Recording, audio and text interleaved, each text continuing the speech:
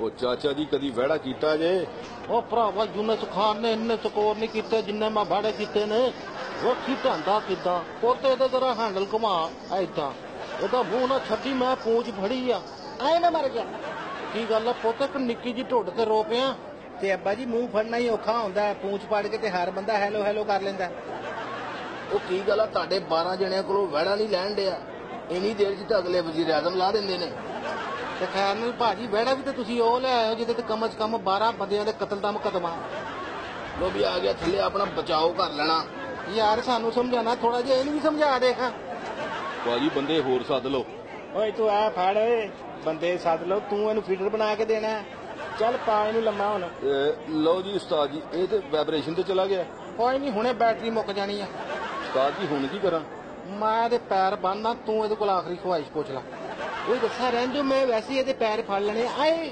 ਲੈ ਹੁਣ ਤੈਨੂੰ ਸਾਰੀ ਜ਼ਿੰਦਗੀ ਸਿਰ ਦਰਦ ਨਹੀਂ ਹੁੰਦੀ ਸੋਹਣਿਆ ਥੋੜਾ ਪਾਣੀ ਪਿਆ ਦੇ ਜ਼ਾਲਮਾ ਥੋੜਾ ਜੰਤਰ ਖਵਾ ਦੇ। ਯਾਰ ਮੇਰਾ ਗਾਣਾ ਪਸੰਦ ਨਹੀਂ ਆਇਆ ਤੁਹਾਨੂੰ ਹਾਲਾਂਕਿ ਹਮੇਸ਼ ਨਾਲੋਂ ਤੇ ਸੋਹਣਾ ਗਾਇਆ ਸੀ। ਮੇਰੇ ਖਿਆਲ 'ਚ ਇਹਨਾਂ ਨੂੰ ਬੱਕਰਾ ਰਾਗ ਦੀ ਸਮਝ ਨਹੀਂ ਹੈਗੀ। ਮੇਰਾ ਤਾਂ ਉਦਾਂ ਲੱਗਾ ਜੇ। ਓਏ ਭਾ ਇਹ ਕਿਹੜੇ ਇਲਾਕੇ ਦਾ ਬਕਰਾ ਵਾ? ਜਨਾਬ ਤੁਸੀਂ ਕੁਰਬਾਨੀ ਕਰਨੀ ਹੈ ਜਾਂ ਕਿਸੇ ਮੇਲੇ 'ਚ ਲਵਾਉਣਾ ਵਾ? ਜਨਾਬ ਇਹ ਦੋਵਾਂ ਦੇ ਲਾਇਕ ਨਹੀਂ। ਏਡੀ ਵੱਡੀ ਰੱਸੀ ਆ ਫਿਰ ਮੈਨੂੰ ਕੰਨ ਤੋਂ ਫੜਿਆ। ਦੱਸੋ ਜਾਨਵਰ ਇਹ ਆ ਕਿ ਮੈਂ ਆ? ਯਾਰ ਤੂੰ ਮੈਨੂੰ ਘਰ ਦਾ ਐਡਰੈਸ ਦੇ ਦੇ ਮੈਂ ਆਪੇ ਆ ਜਾਣਾ ਵਾ। ਓਏ ਇਹਨੂੰ ਕਹਿ ਦੇ ਮੈਂ ਨਹੀਂ ਹਾਰ ਪਵਾਉਣਾ। ਓਏ ਦਵਾਓ ਜਾਂ ਮੈਂ ਨਹੀਂ ਪਵਾਉਣਾ? ਆ ਵੱਡੇ ਭਾਈ ਨੇ ਆ ਬੱਕਰੇ ਦੇ ਗਲੇ 'ਚ ਹਾਰ ਕਿਉਂ ਪਾਉਂਦੇ ਆ? ਬੇਟਾ ਇਹ ਹਾਰ ਨਹੀਂ ਕਸਾਈ ਵਾਸਤੇ ਬਾਰ ਕੋਡ ਆ। ਉਹ ਕਾਦੇ ਵਾਸਤੇ? ਕਿ ਇੱਥੋਂ ਰੱਖ ਕੇ ਚੋਰੀ ਫੇਰਨੀ ਹੈ।